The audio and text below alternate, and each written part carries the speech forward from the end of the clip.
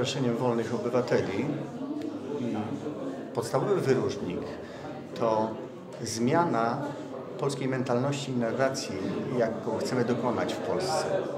Mówi się o Polakach, że jesteśmy narodem bardzo pracowitym, jednym z najbardziej pracowitych na świecie, a 27 lat tego nie pokazuje. Polacy nadal nie, ma, nie mają szansy wrócić ze zmywaków i Polacy mają mnóstwo pomysłów, które realizują później inne narody. O nas się tak mówi już dziesiątki lat. Nasi zachodni sąsiedzi, bezpośredni Niemcy, na naszych terenach, w Szczecinie i w okolicy mówią, wy Polacy jesteście świetni, tylko powinniście być pod zarządem niemieckim.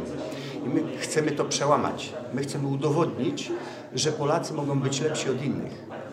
Ja doczekałem w Kamieniu Pomorskim opinii w dziesiątkach artykułów, wywiadów prasowych i telewizyjnych, nawet Sandy Telegraph, że my Polacy bywamy lepsi nawet od Margaret Thatcher. Kiedy spytałem dziennikarza na koniec wywiadu, czy może mi pomóc w zdobyciu doświadczenia od zwolenników Margaret Thatcher, od tak zwanych Thatcherystów, usłyszałem odpowiedź, a po co to panu? Odpowiedziałem, chciałbym się czegoś jeszcze nauczyć. Wówczas padła odpowiedź, niech oni przyjadą do pana. My Polacy bardzo często siebie nie cenimy. My ciągle uważamy, że Niemiec, Francuz, Anglik, Amerykanin to są wszystko ludzie lepsi od nas. Mamy taką mentalność kopciuszka, który siedzi w kącie i tak jak nas kiedyś wychowywano, mówi nie będę się chwalił, znajdą mnie. Nie.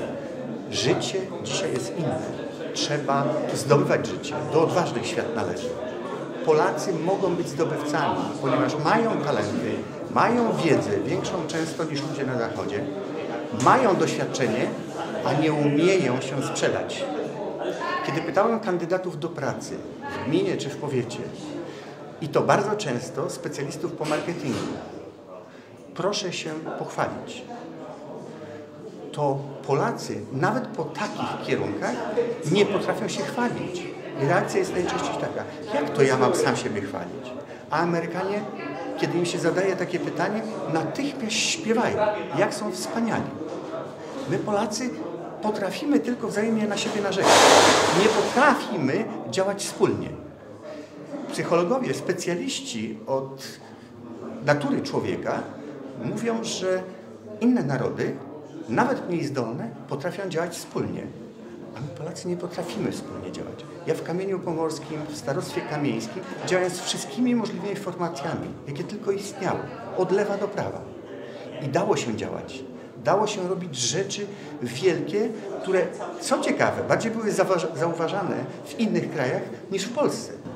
Bo jeżeli to tak dobrze działa, że z zadłużonej gminy, gdzie jest 40% deficytu, w 4 lata można przy obniżce wszystkich podatków i opłat lokalnych zrobić 70% nadwyżki budżetowej i mieć przeciwny problem niż mamy przez 27 lat.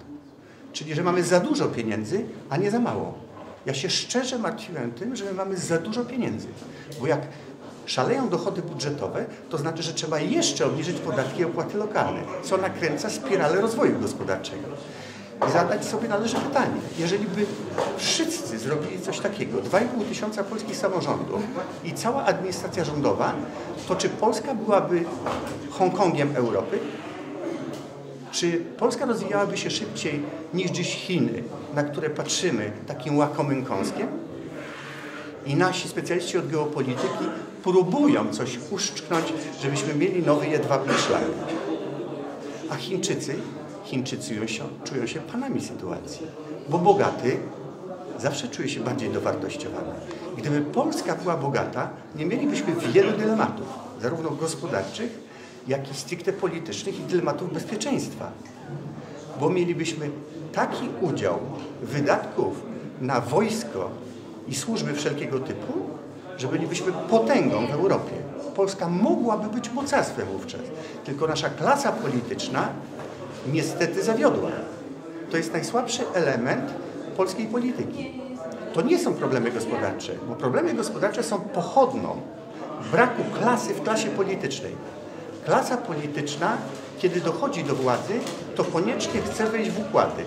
A jak się raz wchodzi do mafii, to z niej się wychodzi tylko w jeden sposób nogami do przodu. Ja takie propozycje miałem wielokrotnie i nigdy ich nie przyjmowałem, bo są pewne święte zasady, których się przestrzega, a jak nie, to coś się nie może udać. I dlatego w Polsce się nie udaje. Musi powstać nowa klasa polityczna, złożona z młodych ludzi, takim wzorcem, jaki opisywała cała Europa i cały świat.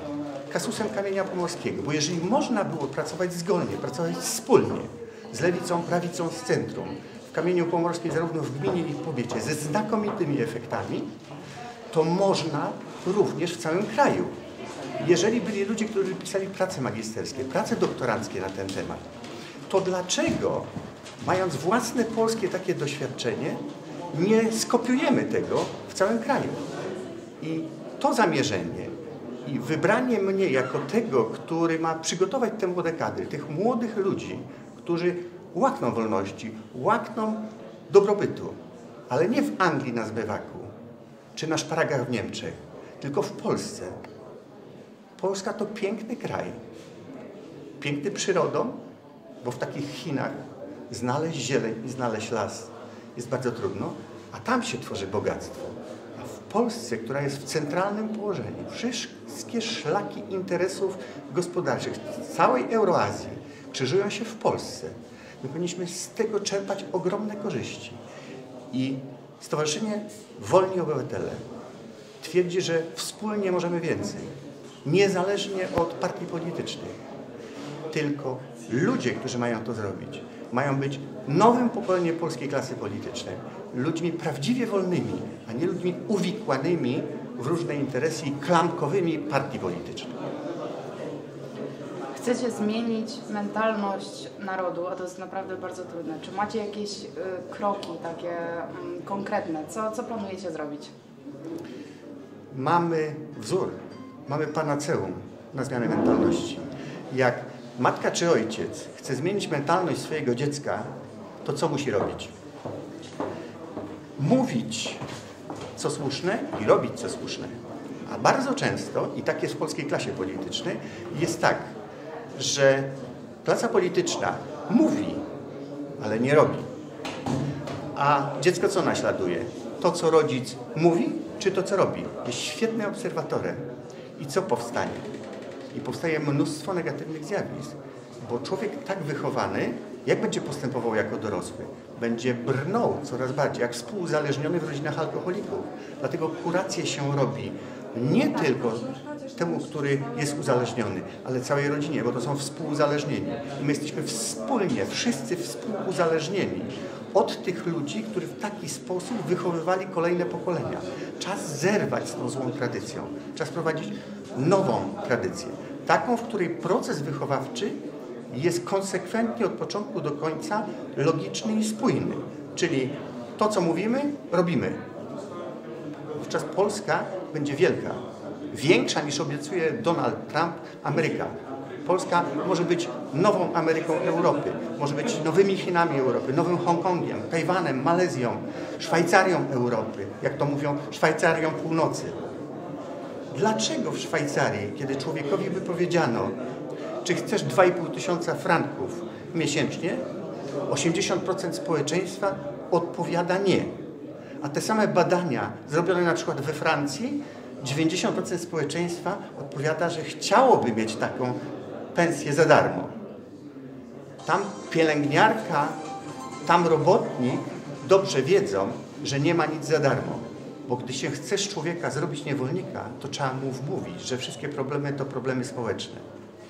To jest pokłosie rewolucji francuskiej. Profesor Poradowski pięknie o tym pisał i warto, żeby takie lektury były w spisie lektur, a nie kłótnie o to, kto ma swojego bożka politycznego. Dlaczego Orwell 1984, jedna z najważniejszych książek XX wieku, wybrana zresztą przez czytelników, oprócz mistrza i Małgorzaty Bułhakowa, dlaczego ona nie jest w spisie lektur? Bo klasie politycznej niepotrzebni są rozumni ludzie, tylko potrzebni są ludzie, którzy będą pachołkami. Jeżeli chcemy, żeby Polska była piękna, wielka i bogata, to musimy wychować ludzi wolnych, a nie niewolników.